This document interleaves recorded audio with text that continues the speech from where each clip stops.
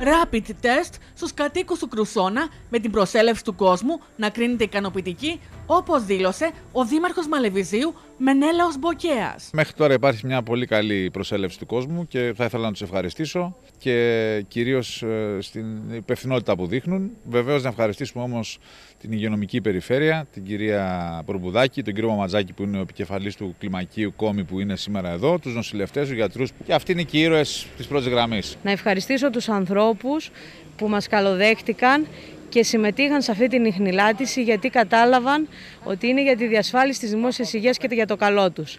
Οι κρουσανιώτες λοιπόν δίνουν το παράδειγμα και σε όλα τα χωριά της Κρήτης. Από νωρίς το πρωί, τέσσερις μονάδες του ΕΟΔΗ βρέθηκαν στο Κρουσόνα, πραγματοποιώντας γρήγορους διαγνωστικούς ελέγχους κορονοϊού με τα αποτελέσματα να είναι ιδιαίτερα ενθαρρυντικά.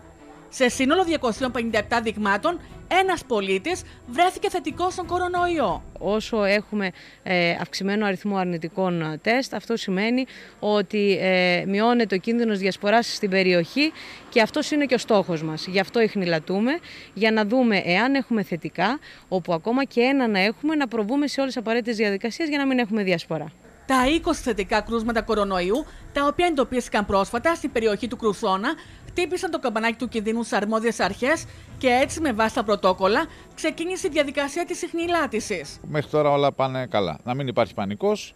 Υπάρχουν κάποια κρούσματα που οδήγησαν σε αυτό, το, σε αυτό το επιπλέον έλεγχο που γίνεται σήμερα και ο κόσμος, ε, όπως σας είπα και πριν, ανταποκρίνεται καλά. Δεν υπάρχει κίνηση, δεν υπάρχει δηλαδή συνοστισμός. Η διαδικασία κυλά ομαλά από τις 9 η ώρα το πρωί όπως είχαμε προγραμματίσει.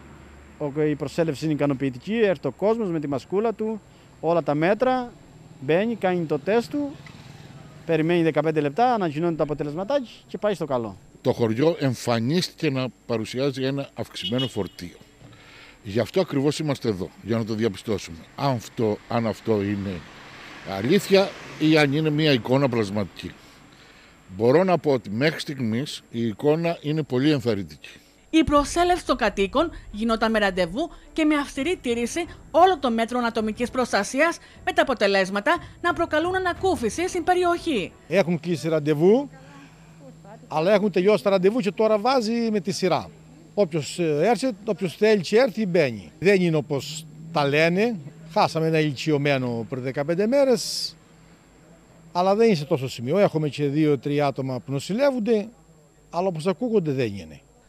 Πρόκειται για μια συντονισμένη ενέργεια της Δημοτικής Αρχής Μαλεβιζίου, της 7η Υγειονομικής Περιφέρειας Κρήτης, της Πολιτικής Προστασίας και της Περιφέρειας Κρήτης.